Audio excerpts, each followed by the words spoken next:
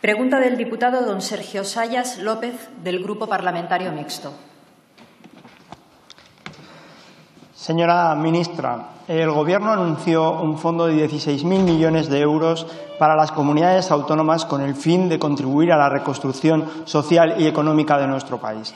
Me gustaría que en su intervención garantizara que Navarra podrá participar de ese fondo y también que si en la reunión que hay prevista mañana en el marco de la Comisión Coordinadora del Convenio Económico se fijará la cuantía y la forma en la que Navarra podrá participar de este fondo. Muchas gracias.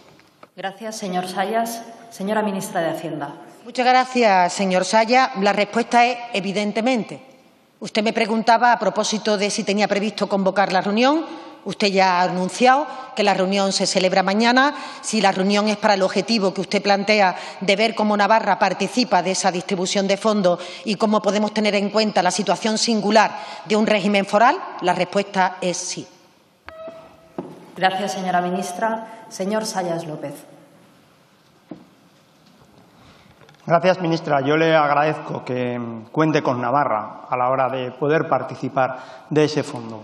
Como sabe, nuestra comunidad es una comunidad que ha sido gravemente azotada por el coronavirus. Es verdad que hoy estamos en unas cifras más esperanzadoras porque tenemos un sistema sanitario fuerte, eh, forjado durante muchos años, muchos de ellos con gobiernos de UPN, porque tenemos también unos magníficos profesionales de la sanidad y porque el pueblo navarro se ha comportado de manera ejemplar.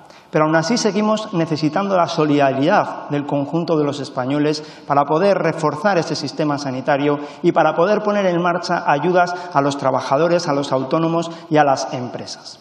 El convenio económico es un instrumento que regula las relaciones económico-financieras entre Navarra y el conjunto del Estado. Es un instrumento histórico pero que también tiene amparo constitucional y que tiene dos características fundamentales. En primer lugar, la bilateralidad y, en segundo lugar, el pacto. Navarra es una comunidad solidaria con el conjunto de España, que contribuye no solo en función de sus habitantes, sino de su renta. Y esa solidaridad con la que siempre ha obrado el conjunto del pueblo navarro es hoy la que pide al conjunto de España. Navarra tiene que participar de este fondo de manera suficiente y justa, pero no solo de este fondo, sino también de otras ayudas que a nivel europeo puedan venir. Pero, señora ministra, hemos escuchado también y hemos leído en algunos medios de comunicación que una de las posibilidades de financiar este fondo pueden ser el remanente de los ayuntamientos. A mí me gustaría que en su respuesta desmintiese esta información, porque, como sabe, nuestro partido es un partido municipalista, que tiene muy a gala la defensa de la autonomía municipal y que no estará de acuerdo en que el Gobierno haga políticas con un dinero que es de los ayuntamientos. Muchas gracias. Gracias, señor Sayas.